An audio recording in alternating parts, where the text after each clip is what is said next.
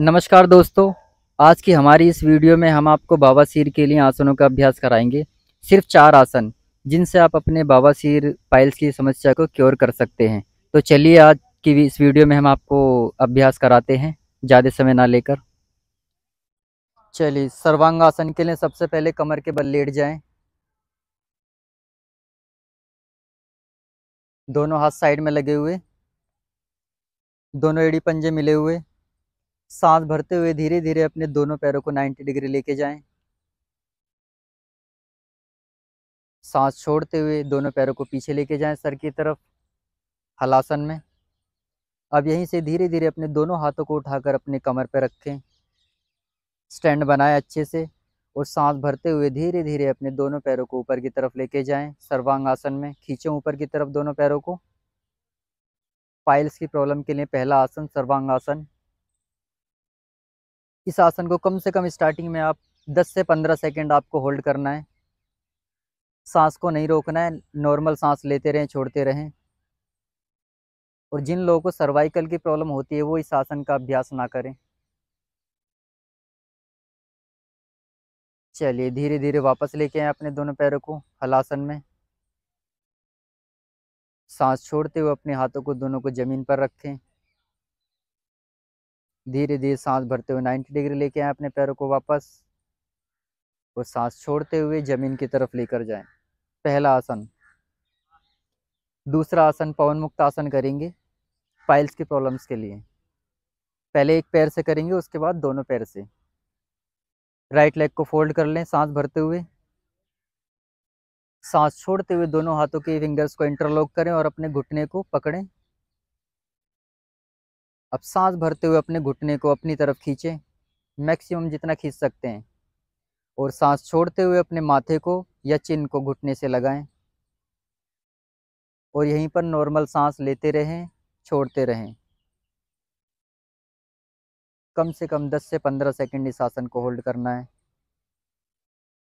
जिन लोगों को पेट में गैस की समस्या होती है, वो भी इस आसन का अभ्यास कर सकते हैं। उसके लिए बहुत ही बेस्ट आसन है। धीरे धीरे सांस भरते हुए अपने गर्दन को ज़मीन की तरफ़ लेके जाएँ। सांस छोड़ते हुए अपने दोनों हाथों को ज़मीन पर रखें और सांस भरते हुए पैर को खोल दें। अब इसी तरह से इस आसन का दूसरी तरफ़ से अभ्यास करेंगे। लेफ़्ट लेग को फोल्ड करें सांस भरते हुए। दोनों हाथों के फिंगर्स को इंटरलॉक करें और घुटने को पकड़ें। सांस भरते हुए अपने नी को अपनी तरफ़ खींचें और सांस छोड़ते हुए अपने गर्दन को उठाकर माथे को घुटने से लगाएँ या चिन को भी लगा सकते हैं। जिन लोगों को सर्वाइकल की प्रॉब्लम है वो इस आसन में गर्दन को ना उठाएँ। गर्दन को सर, ज़मीन पर ही रखना है। चलिए धीरे धीरे वापस जाएँ। छोड़ दें इस आसन को। चलिए, अब इसका अभ्यास दोनों पैरों से एक साथ करेंगे। दोनों पैरों को सांस भरते हुए 90 डिग्री लेके जाएँ। सीधा। यहीं पर अपने पैरों को फोल्ड करें। दोनों हाथों को लॉक करें घुटनों को। सांस भरते हुए दोनों घुटनों को खींचे अपनी तरफ़ मैक्सिमम जितना खींच सकते हैं। और सांस छोड़ते हुए गर्दन को उठाएँ और माथे को या चिन को घुटनों से लगा दें। और यहीं पर रोक के रखें कुछ सब कुछ देर के लिए। नॉर्मल सांस लेते रहें, छोड़ते रहें। पवन मुक्त ये आसन गैस के लिए भी बहुत अच्छा है पाइल्स के लिए भी बहुत अच्छा है। सांस भरते हुए गर्दन को ज़मीन पर रख दें और धीरे धीरे अपने हाथों को और पैरों को वापस लेकर आएँ। ये था सेकेंड आसन।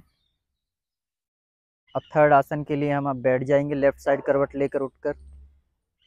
दंड आसन में बैठ जाएँ।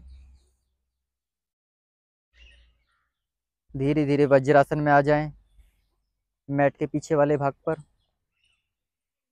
अब इसमें आप अपने घुटने खोल भी सकते हैं और घुटने मिला भी सकते हैं।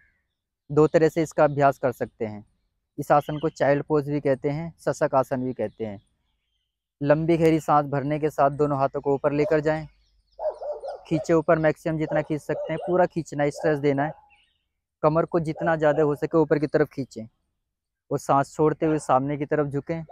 पूरा जाएँ, माथा या चिन्ह ज़मीन से लगा दें। जिन लोगों को गुस्सा बहुत आता है, वो इस आसन का अभ्यास कर सकते हैं। गुस्से के लिए भी बहुत बेस्ट आसन है ये। और पाइल्स की समस्या के लिए थर्ड आसन है ये, जो कि बहुत ही अच्छा है। इसका भी आप कम से कम स्टार्टिंग में 10 से 15 सेकंड होल्ड करें और धीरे धीरे इन आसनों का टाइमिंग आपको बढ़ाना है। चलिए, सांस भरते हुए दोनों हाथ ऊपर लेके आए। खींचे मैक्सिमम जितना खींच सकते हैं। और सांस छोड़ते हुए दोनों हाथों को वापस लेके आए साइड से। अब हम करेंगे फोर्थ आसन। कागासन में बैठ जाएँ।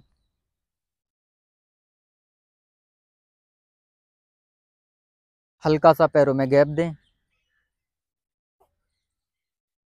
दोनों हाथों को सांस भरते ऊपर लेके जाएँ पहले, खींचे ऊपर मैक्सिमम।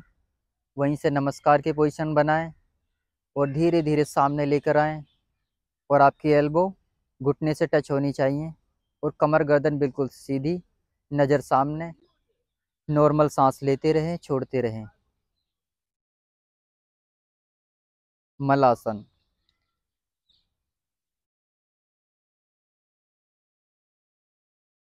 चेहरा मुस्कुराता हुआ रखना है हर एक आसन में ताकि उस आसन का आपको अधिक से अधिक लाभ मिल सके। चलिए धीरे धीरे वापस आ जाएँ। और सब आसन में आराम करें। आज आपके लिए चार आसन बताए थे हमने, जो आपको पाइल्स की समस्या के लिए बहुत ही लाभकारी होंगे। लेकिन याद रहे, आसन का जब भी अब अभ्यास करते हैं तो खाली पेट करें। संभव हो सके तो सुबह के टाइम करें अभ्यास।